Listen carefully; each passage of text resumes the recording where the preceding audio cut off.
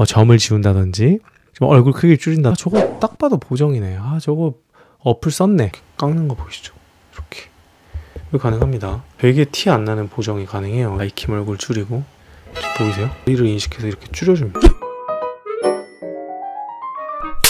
배마부 여러분 안녕하십니까 배마부 채널의 배문입니다 유튜브뿐만 아니라 여러분들이 운영하고 계신 소셜미디어 채널 꽤나 있으실 것 같은데요. 인스타그램이든 페이스북이 됐든 셀프 브랜딩하는 공간이라고 해석할 수도 있을 텐데 이왕이면 내 얼굴이 조금 더 잘생기게 이쁘게 나왔으면 하는 건 모두의 같은 마음일 것 같아요. 나를 좀 알리는데 좀 치트키를 쓰는 거죠. 포토샵 프로그램 같은 경우에는 좀 어느 정도 전문 지식이 있어야 될 것 같고 좀 손에 익어야 잘할 수 있을 것 같은데 요즘에 꽤나 많은 보정 프로그램들이 있단 말이죠. 근데 보정 프로그램 중에서도 아, 너무 좀 보정이 과해서 아, 누가 봐도 아 저거 딱 봐도 보정이네. 아 저거 어플 썼네. 뭐 이런 얘기들 많이 나오잖아요. 그래서 제가 소개해드릴 앱은 겉으로만 보면 기능 별로 없어 보이는데 막상 안에 면면을 들여다보면 꽤나 쓸만한 게 있어요. 포토샵과 아, 그리고 뷰티 플러스라는 앱을 비교해 보면서 어떤 식으로 적용 가능한지 제가 한번 설명을 드릴게요. 오케이? 음. 뷰티 플러스 앱에 들어갔는데요. 건너뛸게요 어, 이런 식으로 이제 나오죠. 막 여러 개 되게 뭔가 좀 정신사납기도 하고 광고도 되게 많고 의외로 이게 찐 앱입니다. 저는 이런 걸 다 떠나서 기존에 그냥 사진 에디터 여기 들어가서 최근 요거 여기 보시면은 뭐 메이크업, 박피, 슬림, 톤, 머리 크기 뭐 등등 머리 크기, 잡티 제거 이런 게 있는데 이게 웬만한 포토샵보다 저는 훨씬 편하고 좋더라고요.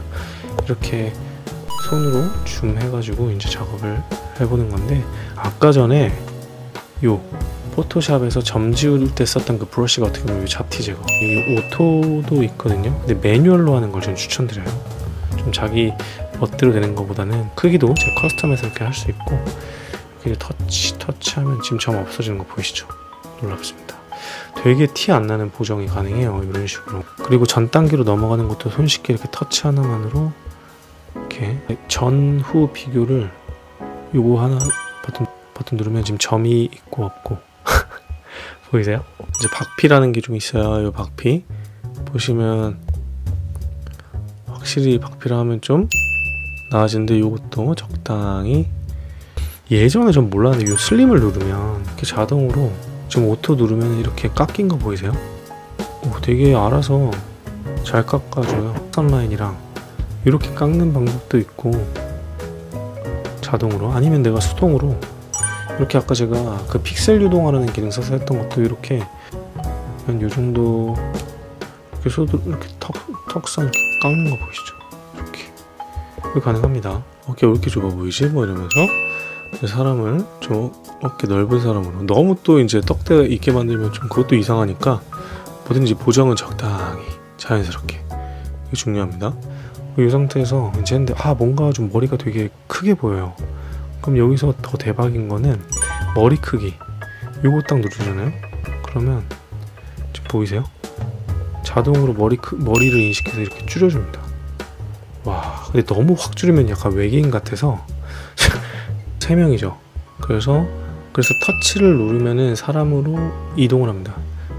일단 제 얼굴 먼저 줄이고 그 다음에 마이킴 얼굴 줄이고 그리고 피부 보정 같은 경우 그리고 톤 같은 경우에도 이렇게 컬러에 따라 그 조금 더 어두운 톤을 선호하면 이렇게 좀 바꿔주기도 하고 이런 식으로. 되는데 좀 조명을 조금 더 키우고 싶으면 이렇게 좀 조정해서 톤 보정도 가능하면 다이아 표시되어 있는 거 있죠? 이런 거는 유료더라고요. 여기 보시면 여기 유료는 확실히 조금 더 디테일한 보정이 가능해요. 이런 식으로 늘, 늘려지는 거 보이시죠?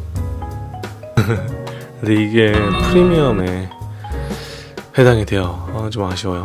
여기 보시면은 뭐 신장, 수정, 주름 개선, 스팟라이트, 야간 모드 이런 부분들이 음, 보시면은 다 지금 유료로 기본 기능으로도 충분히 가능하니까 이것만 써도 괜찮은 것 같습니다. 오늘은 어도비 포토샵으로 평소에 하던 작업들을 손쉽게 어, 뷰티 플러스라는 앱으로 하는 방법에 대해서 알아봤습니다.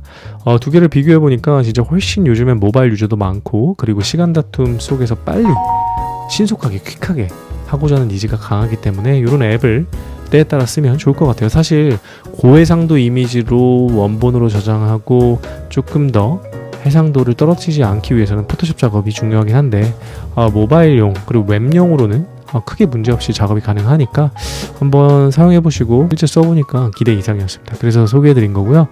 이런 치트키를 좀 써서 이왕이면 좀 이쁘게 더 잘생기게 좀 있어 보이게 한번 꾸며보자고요. 오케이? 그러면 다음에도 또 좋은 사진과 영상 관련된 좋은 앱을 가지고 또 돌아오겠습니다. 그럼 다음에 봐요. 안녕.